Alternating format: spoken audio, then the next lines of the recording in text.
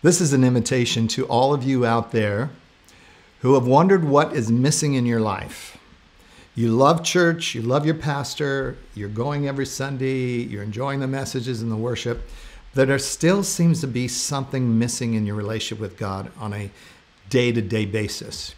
And I believe if you come and check out our conference coming up, August 6th and 7th, Friday night, all day uh, Saturday, and then ending in Saturday night, you will discover something that will bring the solution to your need for fellowship, uh, your need to have relationship, because so many people are out there so isolated right now in, in church they feel lonely and also it is going to show you how you can learn how to feed yourself in the Word of God with the right kind of tools. And I'll take you there through my program, step by step, week by week, as you journey with another uh, group of three people in your group of four. We, that's why we call it discipleship group.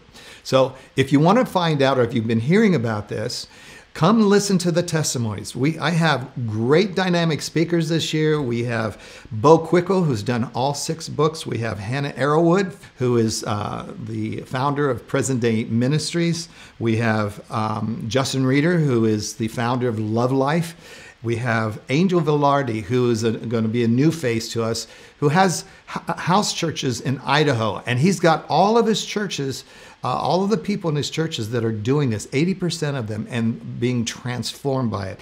And then also, um, there is Joseph Tillman from Newnan, Georgia. He was the one that brought the, the teaching last year about critical race theory, and it was phenomenal. You actually can go on our website and pull that up. It was phenomenal. But look how far ahead he, he was in sharing that because that was already a problem back there. Now, in the last year, we uh, just this year, we've been hearing more and more about it. But these are the kind of things you're going to learn why this works, hearing testimonies of, of the transformation that's happening in people's lives.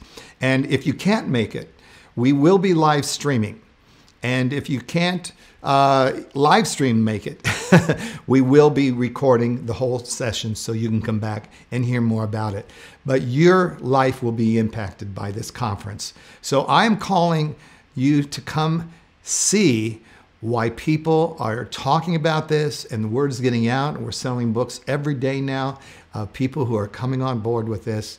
Come to our DG Gathering 2021, our annual conference, August 6th and 7th in Cornelius, North Carolina at New Song Church. God bless you.